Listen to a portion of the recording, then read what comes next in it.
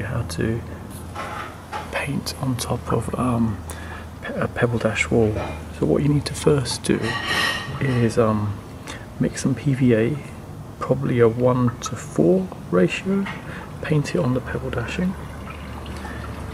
And then what you can do, you get a masonry paintbrush, it's a masonry paint,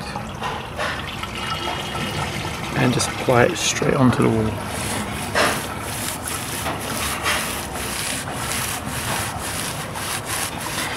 PVA, purpose of PVA being painted on the wall is to stop um, uh, the cement actually sucking in all the paint so you don't have to use as much.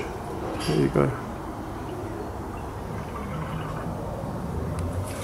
Thanks for viewing.